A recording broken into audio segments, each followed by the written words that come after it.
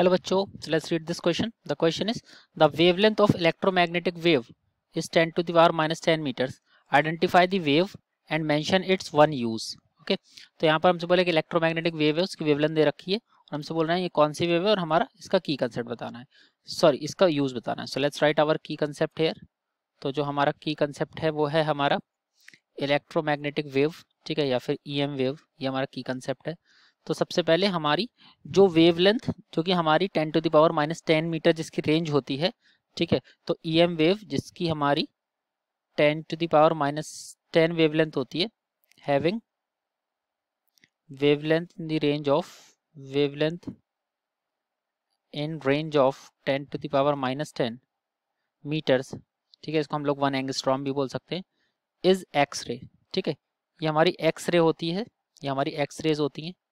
जिनका इतना वेवलेंथ होता है, ठीक है? और इसका अगर हम लोग एक्सरे के जो यूज़ हैं, ये हमारा यूज़ होता है टू स्टडी क्रिस्टल स्ट्रक्चर ठीक है? To study crystal structure crystal structure को स्टडी करने में हम लोग एक्सरेज को यूज़ करते हैं, ठीक है? ये हमारा इसका यूज़ है।